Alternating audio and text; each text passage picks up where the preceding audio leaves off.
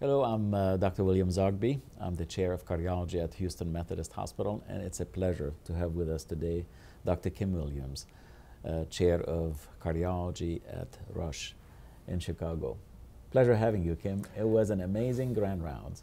Well, thank you so much. It is really an honor to be here at this storied institution and uh, to actually uh, interact with your faculty. It's uh, very bright and engaging and really a, a, tremendous time. I appreciate it. For those of you who are joining us, uh, you really need to see this grand rounds. And it was enlightening, it was engaging. You can tell how many questions there were afterwards. Um, you know, he, he, Kim was, was a star today, and it hit a chord that uh, on nutrition and cardiovascular health and total health. Right. In a way that and you, you, mentioned it is not as much inculcated in yes. our literature, meaning right. our cardiovascular literature, the JACC, the circulation, and, and the impact for general that most people read. Right. Uh, we have a lot of data. Mm -hmm. You showed a lot of data of how just even with minor alteration going to a vegan, uh, a gradation right. in, in, uh, in risk, in mortality, and so many other things. How, how, can, how can we get the message there?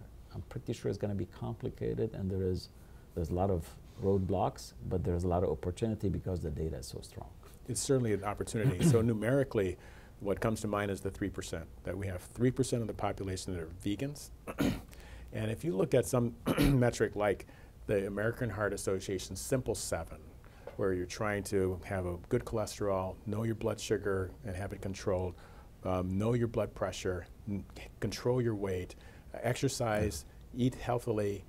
If, what percentage of Americans actually do, do that? that? It's 3%. It, it that, that can hit all seven. And so we, we actually have a lot of opportunity, as you say. Um, and how do we do it?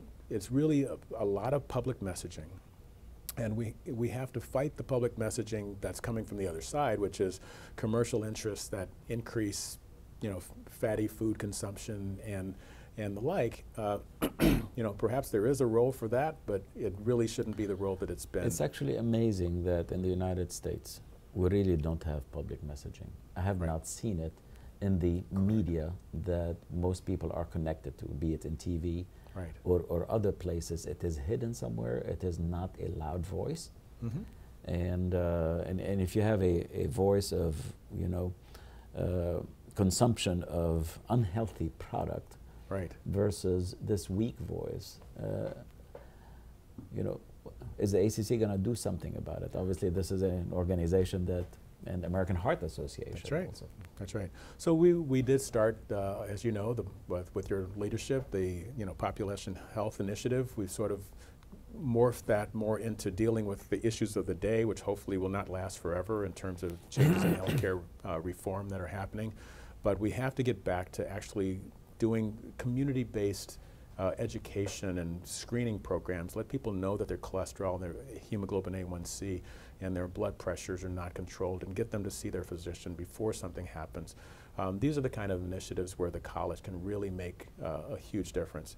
Uh, we have a, a, a, lot of changes that, that we need to make, and it is, it is definitely going against the culture. Um, I would say that there's a lot of literature out there, and there's a big disconnect between cardiology, where it would be the most good, um, and that literature. A lot of it's in journals that we just don't read. So it's a, it's a challenge for us. I had a wish uh, when I talked with the Surgeon General that actually companies, be it TV companies or otherwise, uh, particularly uh, you know on Saturdays and other things, where they could volunteer, mm -hmm. donate one minute of public education on various things for prevention. Wow. And uh, I, I, think you know people volunteer in so many ways. Sure. Why not ask actually our you know, big conglomerates that can influence. Right. Just a, a minute of time to do that, and I, I, do hope we can push for it because again, the messaging out right. there is really not out there. Right. And other countries, actually, believe it or not, they've taken on this mantle and do something. So that so that's obviously one issue. The other issue is uh, you practice what you teach. Yes. Okay. And and uh, what are some of the major obstacles that you have, and you shared some with us uh, in Grand Rounds, that you know to get this message and stick with it. Right. And uh, it's hard at times to go from a really very bad lifestyle and, and, and diet Right. to uh, to something like vegan. Right. Uh, is there is there an easing gradually to get there and ultimately and you know and is it and I would think it probably is beyond just knowledge. Is how, how do you translate knowledge into action? Well, Big things. You're absolutely right. And I would say that one of our biggest allies is fear.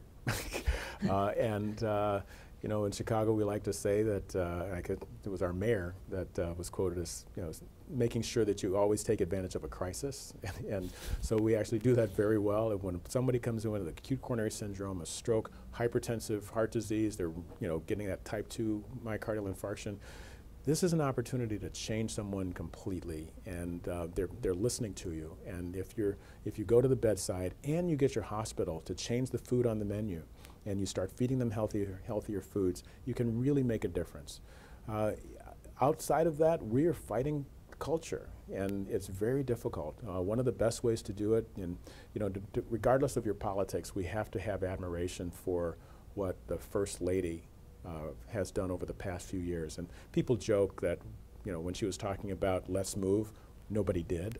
okay, um, so she started talking about fruit and vegetables, and that message at least started getting- getting them into schools in Norfolk, Virginia, getting uh, kids to just change their taste buds and make healthier choices. That's probably where we have to start. I'm not giving up on this current generation because you can make dramatic changes once somebody has cerebral vessel disease with plaque regression.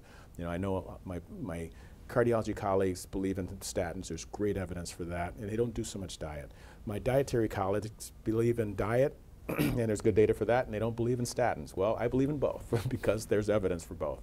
And so, I, you know, what I've seen, and actually, I got a uh, nice case that I had in the clinic yesterday, where the uh, clearly familial hyperlipidemia, LDL of 213, because he had stopped the statin and started eating animal products again. And this, so it's hard to sustain these things. But when he was doing both, LDL was 70, uh, almost unheard of drop, uh, because the two of them are very powerful. With one of them, which he was doing from time to time, doing only one of them, Yes. 130, 170 for the LDL. Not the 213, but certainly not 70. It takes, it takes both. you hit hard on oils. Yes. What's your stance on olive oil? Obviously, we talked about the Mediterranean Right. diet that we don't have a, a comparison actually with veget with the vegan diet. Not yet. Right? We don't know that yet. But um, what's your stance on it? So it's, it's interesting that there are, when you take the oil out of something, then that's when you're getting it concentrated, and that's when you worry that it'll switch over into your consumption, meaning, you know, the fat you eat is going to be the fat you wear. Um, but the oil in its natural state, like in almonds and cashews, the, the amount is being balanced by all of the By dietary it. fiber, exactly. And so, uh, so that's actually works pretty well. Um, I have to admit, I, I uh, assiduously avoid fried foods, um, um, being concerned that uh, when what most, most people don't realize is that you can start off with an oil that's not going to hurt your cholesterol. And my c- biggest personal health concern was cholesterol. If it's monounsaturated or, or polyunsaturated, it doesn't really hurt your cholesterol. Um, but when you take uh, olive oil, which has a lot of monounsaturated fat, and you cook it to high heat, that little bubbling, that's double bonds popping. No, d- definitely. And getting I- believe it or fat. not, believe it or not, growing up in the Mediterranean, you know, in Lebanon, um, definitely you does you don't cook with it. Absolutely. You don't cook with olive oil. You right. eat it if you want to cook something. Uh, on you add it at the end, so it's not boiling. There I mean, you it's, it's very interesting, and this is before, before any data on it, because you talk to you know to any person. Right. Uh, actually, it changes the taste at the same time. It does. That's right. So but yeah, once once you've fried it, so to speak, the content on the bottle is not the content in terms of saturated fat anymore. So in your salads, what do you add to your dressing? I'm actually fine with a balsamic vinaigrette. You know, raspberry vinaigrette would be my favorite, and um, a, because I, you know, I'm I do believe in total lifestyle. you know, not to pick on any particular company, but uh, I actually fill that green circle with 60 minutes of exercise every day somehow.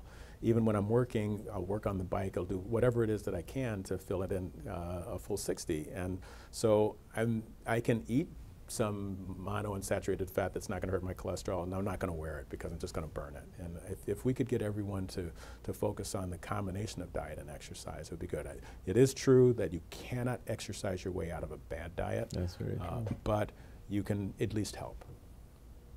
People who've converted to a much more restrictive diet, right? Restrict. I mean, you can call it restrictive in a negative sense, but more positive diet, if you will, Right. towards vegan. Do they miss something?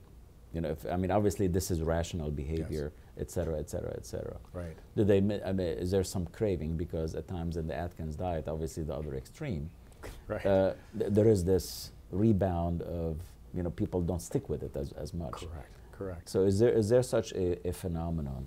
So you, you what I think the biggest craving is to fit in with your family and your friends, particularly when you go out to a restaurant. And so we had a wonderful time last night. I could talk to the guy. He said, "No, that has animal, that has this, and you know." And so you really don't want Actually, yours was much more appealing than, than ours. oh, they did a wonderful job. But and uh, we're seeing that more and more. That as the among you know, vegans only three percent of the U.S. population, but ten percent uh, in California, for example, and uh, for ve- for vegans and vegetarians is ten percent around the entire country. And so it, it behooves every business to have at least a portion of their menu that'll fit in. And so we are seeing more, more healthy uh, opportunities because that's really important. That's the, the longing is this, the social networking um, that you, you feel like you're isolated. Um, but there is, and I, I thought you might be asking about micronutrient craving, and there is one thing that we always have to talk about, and that's B12. Everyone thinks that you get B12 from beef and pork. It's true. But why is that? It's because those animals eat dirty vegetables. They don't make B12, no mammals do. Mm-hmm. It comes from the soil, the bacteria in the soil, and as long as they're eating So you have stuff. to supplement it. Right, so you either eat dirt if you're not going to eat animals, or just take a B12 supplement. So I don't particularly like dirty vegetables. Any departing thoughts that you know our viewers need need to know? I mean, it's been it's been phenomenal. Well, I, I really appreciate the opportunity. I, I would say that uh, everyone can make a change. And it may be small at first, uh, as you were saying, some people it, it needs to be gradual, but make a change. Um, try to get that exercise in, try to change the diet, and then diffuse it out to the patients that you see and your coworkers. You can really make a difference. Kim, it's been a pleasure having you. We really enjoyed you, and I think it, the message has resonated, and hopefully will resonate in our professionals as, as most importantly in the public. Thank you so Great much for have you. having me here. Absolutely.